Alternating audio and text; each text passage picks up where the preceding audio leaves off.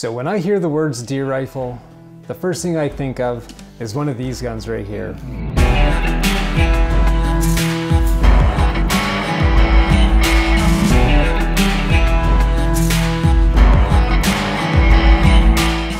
This is the Winchester Model 1894 chambered in 30-30. It was originally chambered in two black powder cartridges, the 3240 and the 3855. And the following year, in 1895, is when this gun came out with the 30 caliber Winchester centerfire, which is known as the 3030.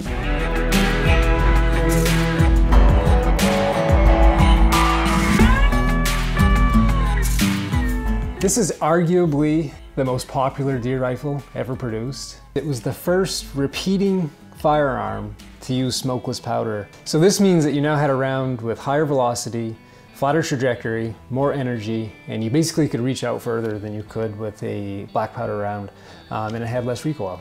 You know, it's a rugged lever action, real smooth, really tight, re really solid gun.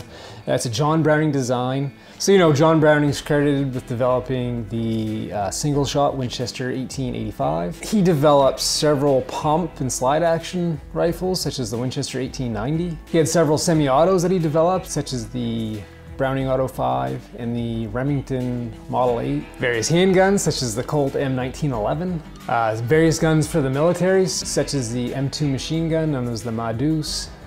Uh, that was chambered in 50 BMG, which he also developed the round for that.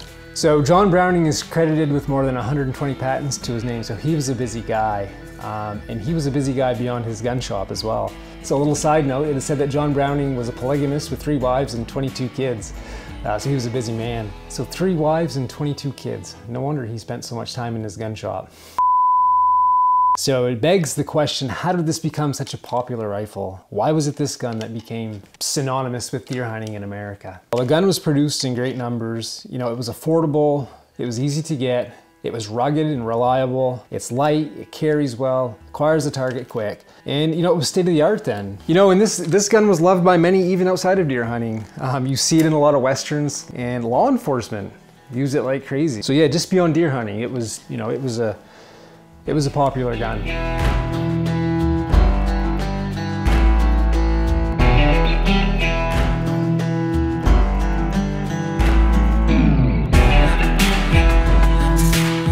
Um, so this one's a pre-1964. I think this particular one is from 1941. There's a difference in how these guns were manufactured prior to 1964. Pre-1964, uh, the guns were really good quality. But in 1964, Winchester ran into some, some financial troubles and they kind of changed some of the machining of the gun and how it was manufactured to reduce the cost of producing the gun. Um, ended up being basically a lower quality uh, gun. You know, often, like many times, when you try to save money, it becomes lesser quality um, after that. So you'll see people that are looking for, for a uh, Model 94, they're looking for a pre-64.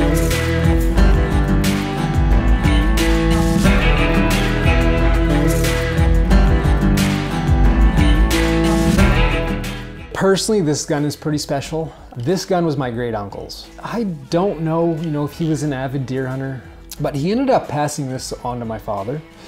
Um, and I'm not sure the year that my father acquired this. My father was young. It was probably high school um, in that area. And my father shot his first deer with this gun. After he shot his first deer, uh, his parents bought him a new gun for Christmas. And I, actually, that's the gun that he still uses today. And I think he's virtually shot every one of his deer uh, with that gun other than his first deer, which was shot with this.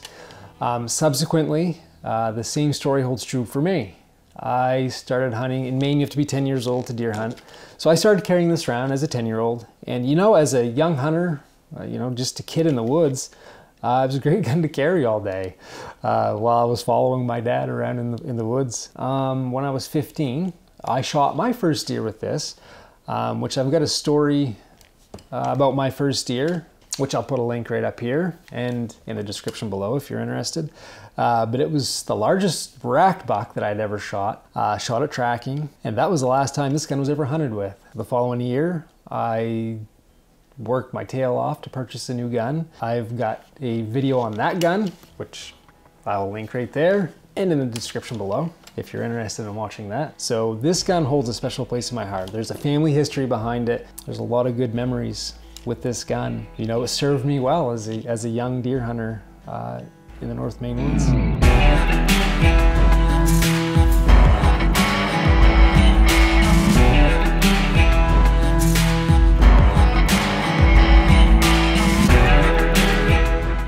So, you know, as compared to a lot of modern rifles nowadays, this gun may struggle to reach out there um, the distance that a lot of the modern rifles will and cartridges that we have.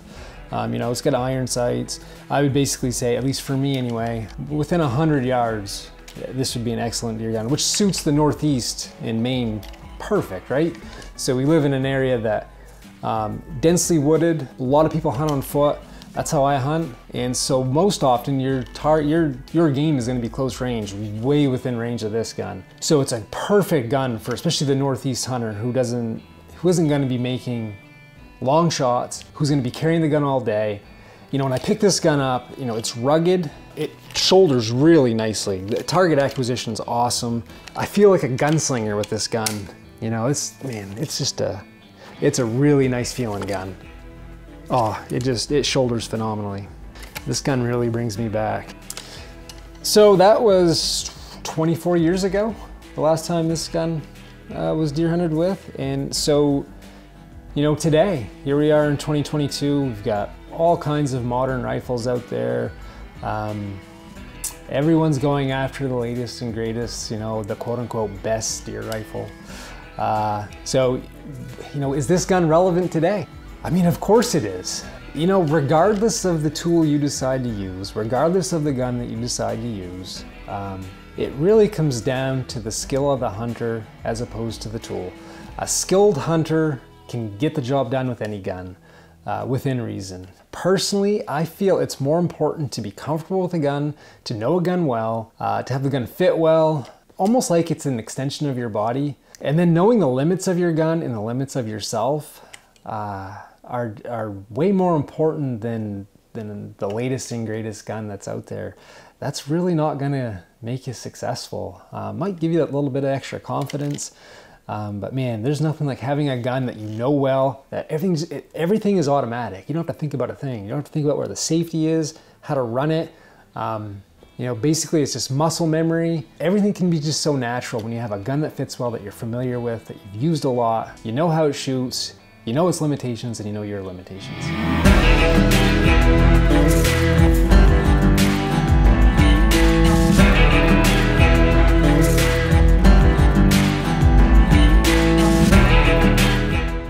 So you know, this gun, like I said, it's arguably the most popular deer rifle ever made. Uh, probably has shot the more deer than any other gun. Um, and if you're someone like me who lives in the Northeast or you live in an area that um, is pretty dense woods uh, and you're hunting on foot, you're gonna spend a lot of time really, you're a stalker or a tracker, uh, you know, you're out in the brush. Um, this is the perfect gun for that. It's reliable, lightweight, fast to acquire the target. Uh, it's a good little gun to carry all day long. Even this gun's what, over 125 years old? It's still relevant today. Good gun. A lot of people have a special connection with this gun. You know, and I'm sure a lot of families have a similar story to mine. They've got a family Winchester model 94 30 30 that's been passed down over the years to different family members.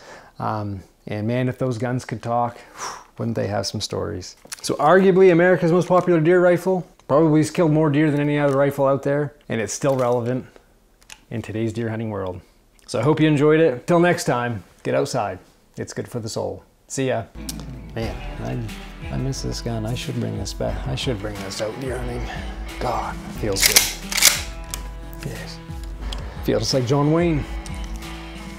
Carries, I mean, just snaps up there phenomenally well. Well, I guess that just about does it.